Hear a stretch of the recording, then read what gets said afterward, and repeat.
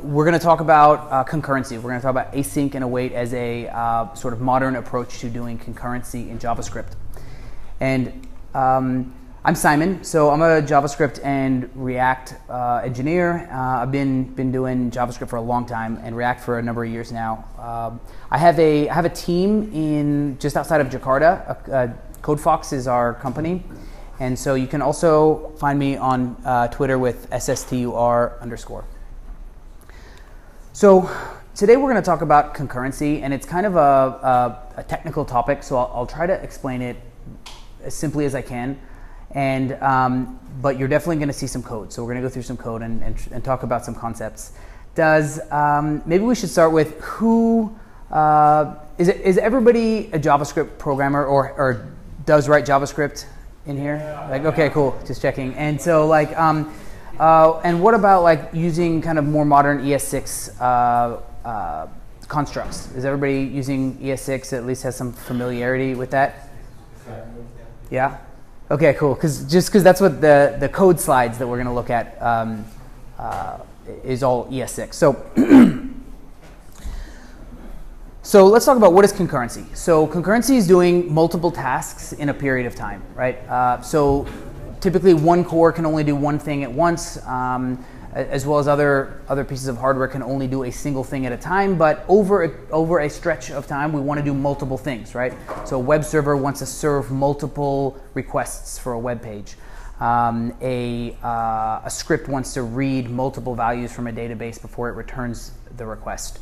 And so so what we're really talking about is doing multiple tasks over uh, over a period of time and some of those things we can do in parallel and some things we have to do one at a time and so generally order dependent or partially ordered units, uh, oh sorry, order independent or partially ordered units of work um, is where uh, concurrency happens. So uh, this is just an example of like multiple tasks that may start at various different times, but are kind of running over the same period of time, right? So they're running um, in, in parallel, essentially. Some of these are, right? And so this is this is something that is is pretty hard to do in computing, right? In in particular, it's hard to reason about. It's hard to uh, um, it, it, leads to race conditions. It leads to uh, difficult models of, of things changing over time, right? And so uh, concurrency is specifically important when we're dealing with user input. Um, oh, sorry, input output is in like network requests. Also user input, users interacting with the system, and uh, reading, writing from disks. Uh, anything that is kind of considered asynchronous type of activity, right? Something where the CPU needs to stop and wait for the user to do something, or the CPU needs to stop and wait for some data to arrive from the database or the network, right? And so there's typically two ways for a program to do those kind of tasks, right? So to do I/O specifically, we have the the blocking or the synchronous style, which is um, it's easy to write. It, it's what PHP and Ruby and Python and most uh, web, especially server-side uh, technologies, are doing uh, synchronous or, or, blocking I/O, right? And that's um, and, and in order for that to work, we need multi-threading because if we stop one thread, we need another thread to be able to continue to serve user requests, right? And so, but it's easy to write because you write everything sequentially. Um, However, there's a memory overhead to that uh, because every thread requires memory, um, and there's context switching. So when the CPU switches between the threads, right? So there's overhead there. Uh, the other sort of paradigm, the other pattern, is the non-blocking or the event loop style. And so that's single threaded, so everything runs in one thread, which means we cannot block the thread. Uh, we do get high concurrency um, and we get low memory, so, so that's the win. Um, and it's really good for UI, uh, so user interaction stuff, right? That's why the browser uses the event loop uh, pattern. And it's also good for I/O bound uh, services, things that are doing a lot of reading from network or database or disk. But it's not great for things that are CPU bound, right? Because anything that's using the CPU is is blocking other things that could be happening. So that's kind of the um, the overview of, of the two patterns. And so JavaScript, as you know, is the second one. And so all the browsers and, and most JavaScript server-side frameworks are all event-driven or non-blocking. Um, there are some exceptions to that, like historically, like really older engines, but in general, every JavaScript you ever write will be uh, event-driven non-blocking. Does anybody have any questions about that stuff? So, uh, so what happens if you block in JavaScript? Um, well, there are some things that will block the thread, right? That will halt any other execution. And so alert, right, is the most common, alert or prompt. And so um, we also have a, a synchronous style of, of, XML HTTP requests, and, and, it's, it's rare because that was probably a mistake in the API. They probably did not intend for that to be synchronous, or at least it wasn't a good idea. Uh, and then we have some stuff in Node world that are intentionally synchronous uh, for various reasons. But um, I think the one that everybody's probably familiar with is the sort of alert style, where it blocks everything else that's happening. And so that's this one, right? And so that's like the page puts a dialog up and everything pauses, right? You cannot interact or press a button, you can't even scroll. And so that's kind of a bad user experience, right? and so that's what we mean when we say a blocking interaction or, or blocking the thread. So, uh, how do we write concurrent software without blocking? So generally in JavaScript world, as you know, we use callbacks, right? And it's, it's pretty straightforward. We just pass a function, and um, when the task is finished, JavaScript will call our function. And uh, that would be, for instance, an on-click event. So you pass a function uh, to, the, to the document, to the browser, and whenever a user clicks a button, then your callback gets fired, gets executed. Uh, similarly, a network request, right? You, are waiting for the network request to finish, and then the callback happens. So uh, this is the callback style, right? We're going to read a file. This is more maybe server side. We read a file. When the file's finished reading, we have our content. So um, does everybody understand the callback style? I mean, that's pretty much every every JavaScript program you've written, right? So, so what's the good things? It's a good low-level abstraction for concurrency, for asynchronous actions. Um, it, it, performs really well, it has low overhead, there's not context switching involved, and we can do almost any asynchronous task using callbacks, right? Um, what's the downsides? Well, um, th doing things in uh, callback style is really difficult, right? Um, so doing things in sequence is difficult. Doing things in parallel is even harder. Um, you give up your constructs that you're familiar with, like for and while and try, catch, and those are things that people come to JavaScript world from PHP background or from uh, Java or from any almost any other language, and they don't understand why you can't do these things, right? And so uh, error handling, right? As you know, you always have to check this error parameter. Uh, things could fail during the middle of a network request.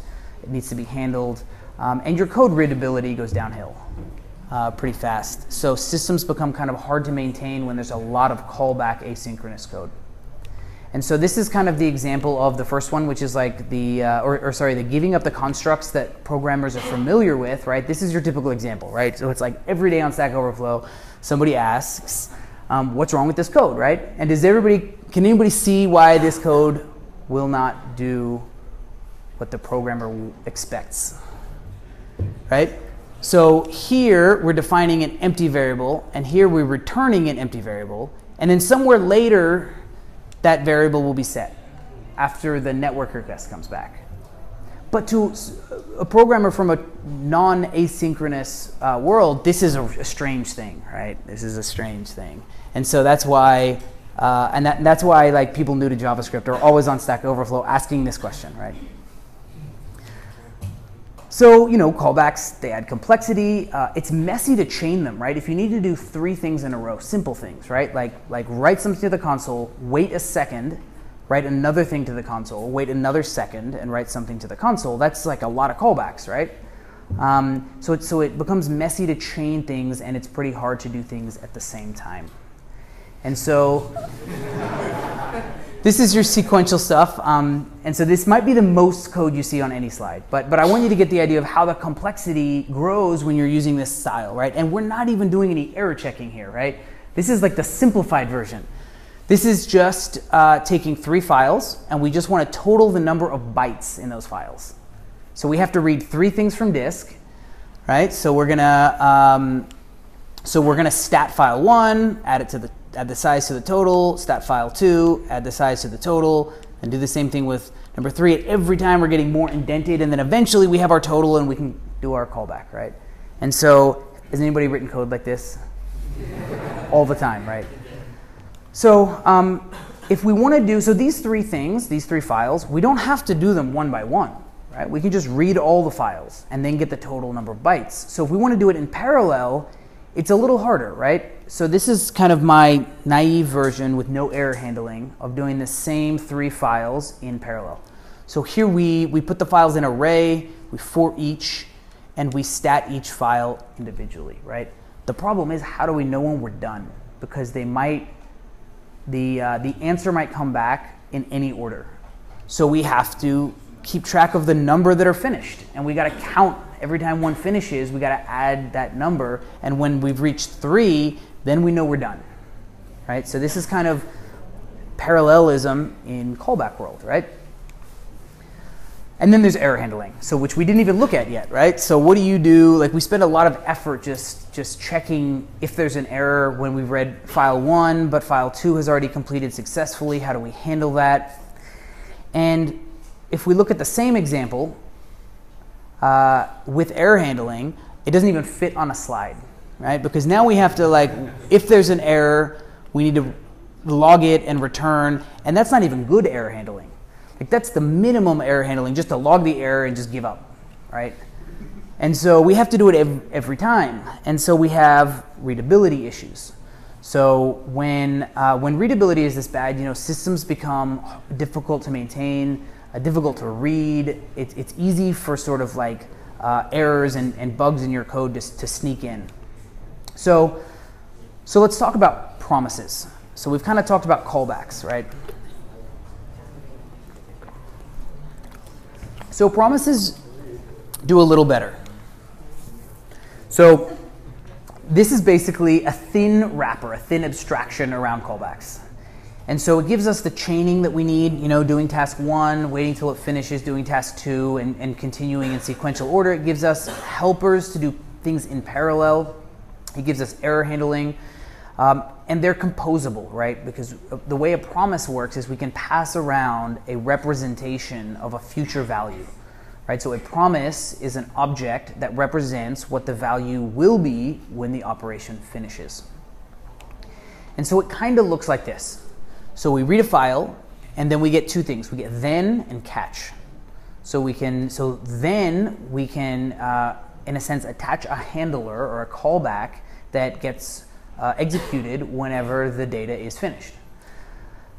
So um, it's better than callbacks. Like it, it may not seem so at first. It may seem more complicated, but it is better. And so it looks, if you look at this code, like all we did was take our callback and put it inside of then, right? But we still have our callback. But it's better because we can um, because we can do some chaining with that. And so uh, I'll, I'll give you an example with um, so this is so this is a uh, a very simple function that uh, uses set timeout and it just waits for 1000 milliseconds for one second and then it fulfills the promise right so it's the same idea as as a set timeout but in promise world so uh, so the idea is that here we want to just wait one second and log something and wait another second and log another thing and so we don't want all of that nested callbacks so we we get a better, more readable um, pattern here, right? So at least we can see first we sleep, then we do this thing, um, and then we do this other thing, and then lastly we do this this final thing. So at least it reads in a very um, sequential order. And so the first thing you might notice is that we're returning something from inside our uh, our callback, right? So inside of our then handler, we're returning another promise. So remember, when we, whenever we call sleep, it returns a promise that will fulfill or will finish in the future, resolve. It'll resolve in the future. And so when we, when we return a promise from in here, that's what allows us to call another then. And in the last one, we didn't return anything, so we're finished. Right? So even this, right, might be a little better than callbacks, but you know, it's not amazing. But we get flow control. So when we go back to our example of doing certain things that we have to do in series, we have to wait for one to finish and then do the next. Uh, other things we want to do in parallel at the same time. And so that's really hard with callbacks, but it's easier with promises. So uh, the example would be um, we want to fetch some data about maybe the user that's logged in right now. Um, and then we're going to get back uh, we're going to get back this user object, and then we want to fetch the friends of that user, and then uh, we'll return that promise, right? So every time we call fetch JSON, we're going to get this promise, and so um, we'll return that promise, and then when that finishes, we have the IDs of all the friends. And so now, and, and this is where it becomes powerful, is now we can take these IDs and we map through them. So we, so we go through each individual friend ID and we want to fetch the user details of that friend. And what I do here is I actually create an array of promises. So each time, for each ID, we return a new promise. And since we're calling array.map, we get a map, we get an array of promises. And then we can call promise.all, which just waits for them all to finish, gets all the results, and we can return that promise. And then when we're finally finished, our last then, we have like all of the details for all of the friends in the order that they were provided, in the same order that they were in this array. So promise.all is the magic that I want you to, to, to understand from this slide. So here we're doing something that would be really hard in callback world because we're doing the first two things in sequence, right? They have, like we can't get the friends until we get the user, right? So we have to do some things in sequence, but other things we can do in parallel. So, um, so that's the power of control flow with promises. So promises, even though they don't seem great at first, or at least when I first learned them, it seemed like a uh, not much better than callbacks. Once you explore the chaining and the control flow, it, it is better. So error handling, we get a catch. And so we don't have to check every single time for this error. We can just attach one, um, one catch function at the end. And so exceptions will bubble through our code or bubble up the way we expect it to work in normal programming with try catch. So in this case, if we go back to our same user profiles example, I can just add one catch at the very end and grab that error. And we just know an error happens. Somewhere in one of these, an error happened. All right, everybody with me so far? Cool. But we're still putting callbacks inside of, of then, right? I mean, we're still doing callbacks. It's a nicer way to do callbacks, but ultimately, we, we eventually have to, um, have to pass these functions. So can we do better? So what do we want to do? Like we want to just like have normal sequential programming like we're used to in other languages. And so here's what we want, right? We want um, we want to get our promise. We want to somehow wait for the promise to finish, and then we just want to log the result, right? With no then anywhere. And so um, the problem is JavaScript is fundamentally single threaded. So we can't block. And what I mean by that is we can't just pause the program right here, wait for the promise to finish, and then resume because we don't want to block our entire thread. And then you have the same problem as when you use alert, and then the whole software is just not doing anything useful. So uh, JavaScript is, is single threaded, we can't block. However, there's a special thing called a generator function. And so what that is, is that allows us to pause just one function, and we'll go back to it later. So we're not gonna pause our whole program, we'll just pause this function. And so has anybody used or seen this generator syntax? No. With the, with the star. So that's the special thing right here is the star. And then um, the keyword yield.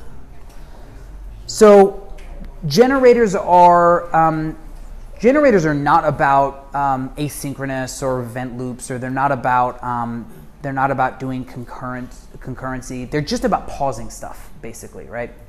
So we get this thing called yield. We can just wait. So the idea is we just pause the execution of just this function. We wait for something, and then later we will be resumed, and we just console.log the uh, a string that says we're back whenever somebody has resumed us. So there needs to be something controlling this. Some function needs to uh, needs to resume this whenever the, whenever the fetch has completed. So generators are pretty complex, and I don't want to spend a lot of time on them. I just want you to know that generator is the only thing that kind of allows this to work because we can pause our function. And it's, and it's important to understand it just pauses this function, not everything. So we take promises, we combine it with generators, and we get awesome stuff. So this is the, this is the, whole, the whole point. We get async await. So it's basically just a layer of syntax on top of generators and promises. And it looks like this.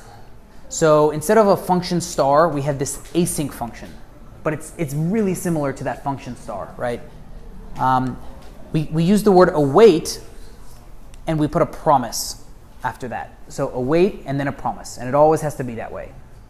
Um, and then what that does is that await will pause it in the middle of in the middle of, of executing this line. We just pause the whole function, and we just wait. But we, we you know we let the we let the event loop do other stuff, and then eventually, when this fetch has completed, this function gets resumed, and then we have our result, and now we can just console.log the result. So this is the whole idea of async await. Um, a few things to remember you can only use await inside of an async. And it has to work with promises. So uh, it's a win. It's a win because we get back our traditional constructs, right? We get back our for while, our try catch. It becomes readable. I mean, it's got it's got some keywords in there that might seem strange at first, but but it, it flows like normal programming in any other language, in normal thread blocking programming, right? Um, and we get this kind of interop with promises. So we can use any other promise library and use it with async await because it just uses promises. So the same example, or, or a new example of reading a file here uh, with async await is that here we just use this read file, which um, is a function that we've kind of made up that presumably just returns a promise. And then we just wait for that and we get our content. And then we convert it to a string, we parse it with JSON, and we log the result. So it's so it's it just reads sequentially like you'd expect. And and the point of this slide is that now we have our try catch back.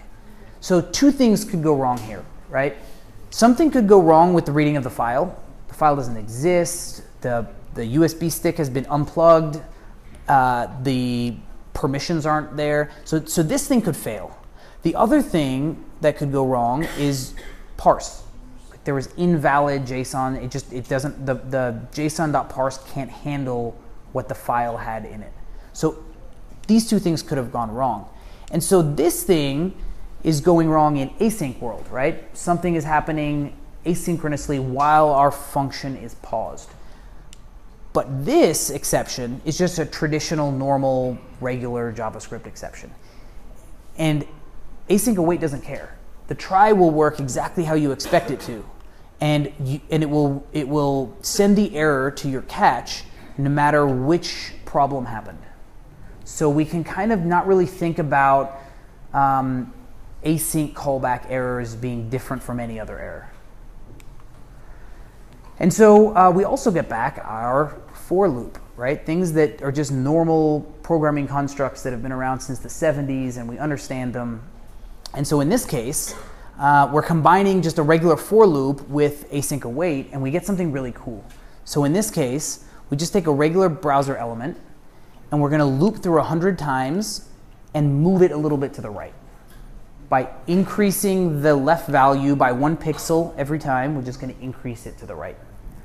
Um, but we, we want to do it every frame, right? It's an animation. We want to wait in between the frames. And so we're going to wait 16 milliseconds between every uh, between every uh, adjustment of the of the value of the style. So in this case, in like four lines, we've written an animation with 100 frames that happen 60 frames a second that would be really difficult to do with callbacks. But because async await just pauses our, our function in the middle of a loop, it just does what we kind of expect it to do, and it's understandable. Does anybody have any questions about this? So it's just promises. um, an async function itself returns a promise. And so when we await a promise, our function pauses until the promise is ready or until it's resolved.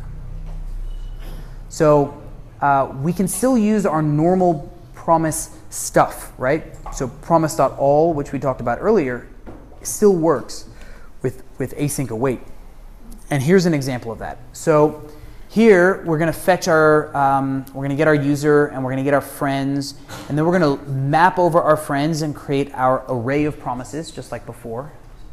Uh, but in this case, we're using await uh, for both of the first things because we can't do the second thing until we've finished with the first thing, right? So we have to wait on those.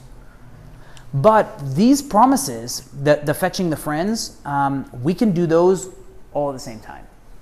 So we just create an array of promises, just like before, we call promise.all, and then we, we await that. So we await them all to be done. So we just, so we, as long as the thing on the right of the await word is a promise, everything's cool. So the thing on the right needs to be a promise. And then, uh, and, and then we, we console.log it at the end. But the thing I want you to know about this is that this whole entire function because it has this async word, itself returns a promise. Right? So if I call the function get user friends, if I call this function, it returns a promise. So we can put that net promise equal to await get user friend? Yes. Yes, you can. You can await another async function because it's just promises. So, uh, a few pro tips. Don't forget to use your await if you accidentally leave out this word because you're so you're so excited that everything is like you know normal programming again that you kind of forget to leave out the await it's not going to do what you think it does um, so don't forget your await uh, be careful about doing too many things in sequence if you can actually do them in parallel so now that we have our for loops back that we love it's very tempting to just put a await inside of a for loop and we have to remember that if we do that it's going to pause that for loop every single iteration. So don't do too much in sequence if you can do it in parallel. Um, and so the other thing is that using await in a map or filter function probably doesn't do what you expect. And so I should show you an example of that. But the idea is that a filter function, right, array.filter, should take a function that returns a boolean. But if you pass an async function, it's going to return a promise. And so probably not going to do what you think it does. So you just have to remember that. Um, so map, it's fine to use, but just remember that if you pass an async function into map, you're going to get an array of promises, which might be what you want. Um, and so even though it looks synchronous, also remember that your code has been paused and then started again later. So some of the assumptions that you might make about um, global state or global variables might no longer be true after your function has been resumed because things have changed in the world while you were paused. So, um, user input, right, has been traditionally hard with Node.js. If you've ever written a CLI tool, um, you need to read some data from the user and then you got to have a callback, and then you got to read more data from a user, and it becomes really nested. And so this is just our final example. Is just that we can just create a read line function that returns a promise, and we can now await it and write command line programs just like you would in Python or any other language. Um, but we get all the advantages of Node as well. So you can use this today. Uh, async await is in Chrome, it's in Firefox, and it's in Node. For any of the other browsers, you should use Babel. But, um, but it's actually not that bad to use Babel because um, async await is, is a pretty thin layer on top of just generators and promises. So most browsers support generators anyway. So there's not too much stuff that Babel needs to do to make this work. So thanks for listening.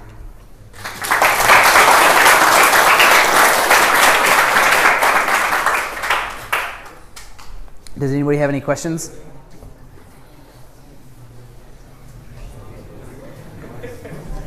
Has anybody used this stuff? Has anybody used this in production or yeah, a little bit?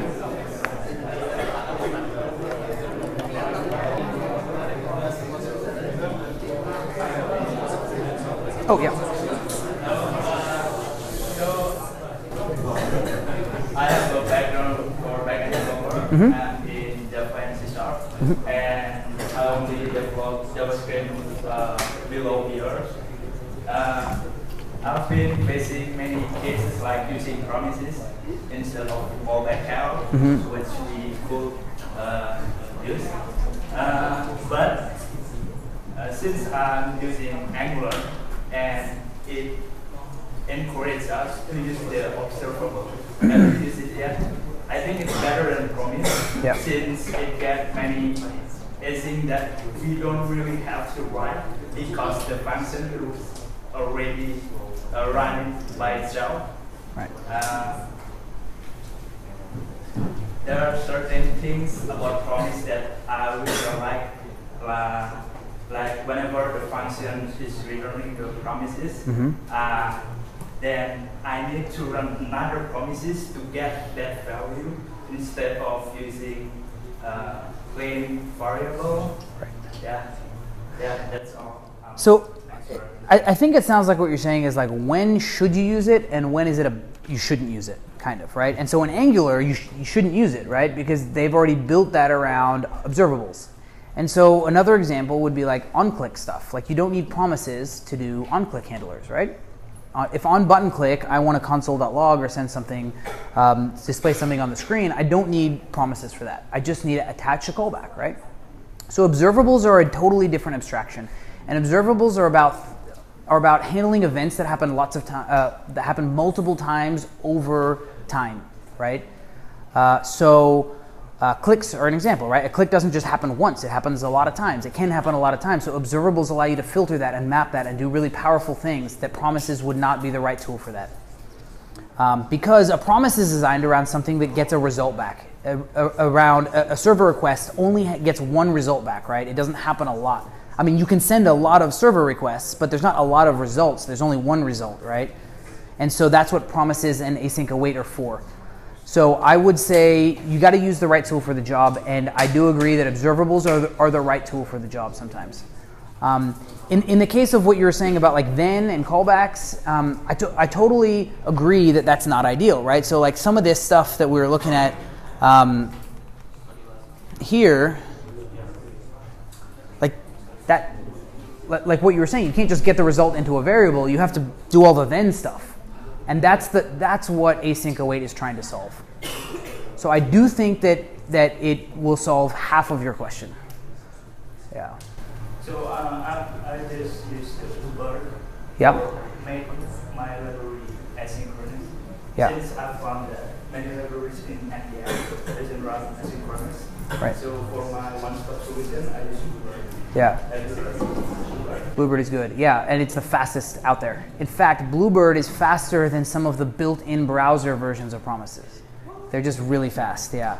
And so that guy has a pretty good talk on performance. Um, but yeah, so so Bluebird is a good choice. Yeah. And generally, though, I mean, I use Promises because it's a standard. It's becoming a standard. It, it's built into the browser. A lot of the browser stuff, like fetch and like if, if you're in the browser and you want to get the battery percentage of the computer, you need use promises for that. Because JavaScript is just moving towards promises, even the built-in functions. So yeah. And then my problem is when I'm using promises, uh, whenever I need to know, so let's say I'm using it for authentication, so I need to know whenever my token is already expired. Right. Whether, so I need to make a generic function, listen to the promise, run another promise if this promise is. So if I learn more about your use case, there might actually be a, a good way to do that with promises. Yeah, I mean, I don't know, so we should talk after, but um, or shoot me a message. But yeah, I mean, there might be a great way to do that with promises, or maybe promise is the wrong tool for that task, right? So anyway, okay, cool, thank you. Yeah. about error handling, uh, do we need to use reverse reject or just use uh, things like throw or So you can do both. Um, you know what a good way to explain that would be for um, if you're creating a new promise, if you're using, so nowhere in my slides did I use the word like new promise because generally those are library stuff. Like you expect, you expect your database library to already create the promise. You expect your your fetch library to already give you a promise. And so if you need to create your own promise, then you have to use reject. But if not, you can just throw. So that's so I guess that's a low to answer your question. That's like a low level uh, tool. So that's something that da- that library authors would use, whereas you probably don't need to use that if you're just consuming promises. Sorry. For uh, is there any limitation when we are using uh, promises, like how many the number of promises? Yeah. Um, so promises are not as um, they use more memory than callbacks, but it's not a lot. So most of the time, you don't have to worry about those limitations. So if you're on a, a low-end device and you're um, and you have a very large amount of things happening at once, even then, I don't think you would have a big problem with memory. Um, the, uh, the limitation that I know about with promises are they're not cancelable. You cannot cancel a fetch. So if you fetch data from a server and then you realize you need to cancel that, there's not really a way to cancel um, to cancel a fetch request. And so there's a reason for that. The people who built promises they didn't want it to be cancelable because if you think about, for instance, um, what's our, our example like this one. Um, in normal programming, if there was no await there, you can't really cancel a, a task in the middle of a line anyway. So promises weren't really built to be a construct that where you can just cancel a request. But but it is a it is a limitation, right? Yeah. Uh, I've seen some library that already use async await in early to, uh, 2016, Mhm. and there are also some early adopters of this. Uh, this and this is actually drafted for ES 7 right in Mhm. 2016. What could possibly be the next expansion of async and await? Right. So um, maybe streams, maybe some some way to handle streams. So for right now, if um, there's some ongoing talk about what to do if we're let's say instead of fetching JSON, let's say we're fetching a JPEG, and that JPEG is big, and we want to handle it in chunks so as not to put it all in memory at once. Um, th- like this whole paradigm here doesn't work with that, right? This is about doing the entire task at one time and then getting the result. It like returns a promise for a piece of the data, and then you have to like do something with that data, and then send out another f- like tell it you're finished, and then you get another promise. So it's a little strange. Could you share us the technology behind the protocol? Can I show you the sorry? This what is KodeFox? Yeah. Yeah. Technology behind the protocol. Yeah, so uh, I'm glad you asked. I would love to talk to you about KodeFox.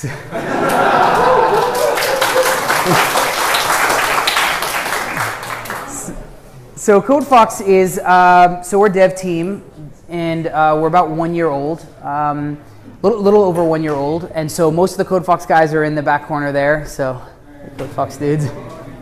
And um, so we so we build mobile applications specifically using uh, React Native. Um, in fact, we do kind of everything React and JavaScript. Uh, we use so we use a lot of Facebook tech. Um, I was at Facebook previous to KodeFox, so uh, that's where kind of I learned React, and uh, we were using async await when I was still there in 2015. We were using um, GraphQL, and we are using Flow, the type system Flow. Um, so we've kind of built our company mostly around Facebook tech. I mean, we use like Jest even, which is from Facebook for testing. So we use a lot of Facebook tech. Um, and it's all just open source stuff. And, and I, I'm probably a little biased, but I feel like it's really good. It's really good software. Um, so yeah, so we so we build uh, native apps in React Native using a bunch of uh, pretty modern and cool tech there. I heard about the license issue about React Native. Yeah. Like, if you build something that was built with Facebook, you can use React. Yeah, um, I I don't know enough about the details of that, but I, I can say that I'm not really worried about it. And a lot of the big companies that are using React, like Airbnb and Netflix, and even Microsoft is using it, um, they aren't too worried about it. So I think it sounds scarier than it is. And so the big companies who are using that have really good lawyers that are looking through the license agreement to figure out what they can and can't do with it. Um, ultimately, I think that that was probably put in place for them uh, as a protective measure from patent lawsuits because the bigger you are, the more you, likely you get sued because somebody knows that you're likely to settle out of court instead of drag it through court for 10 years. And so, uh, you know, I mean, Oracle sues Google and Google sues Samsung and Samsung sues Apple and they all just kind of sue each other. And so, like, sometimes. sometimes their best defense is to is to have something like that in place that says like if you patent infringe me then then I can reverse sue you for using my open source framework and like something like that. Um, but generally, uh, I think it's a d- defensive measure and not an o- offensive measure. I think. Yeah. Oh. Uh, I heard a statement about uh, that promise that observables is the plural, plural form of promise. Uh, could you It's a pretty good way to put it, yeah. So an observable is something that it, that can resolve a lot of times, and a promise is something that can resolve once. Um, the difference is that observables are um, the observables kind of treat time as a parameter, right? So you can. Um, I might not be explaining that perfectly. We don't use a lot of observable stuff, but my understanding is that you treat a series of things that are happening in time as if they're a series of things in an array, right? So um, you kind of do functional stuff to those. Um, I think that so. So I think that that's uh, probably a, cor- a good explanation, but in reality, they're used for very different things. Yeah. So uh, actually behind this, because uh, the technologies are uh, actually different. Or Yeah, I mean, they're all just using callbacks, I guess. So like that's why, you know, callbacks is kind of the the primitive building block to build better abstractions. And there's lots of cool abstractions on top of callbacks. There's like if you think about Go routines or um, we have sagas in in Redux world. And so a lot of these things are about um, running uh, like handling concurrency in different ways. Cool. Yep. Thank you. Okay, thank you.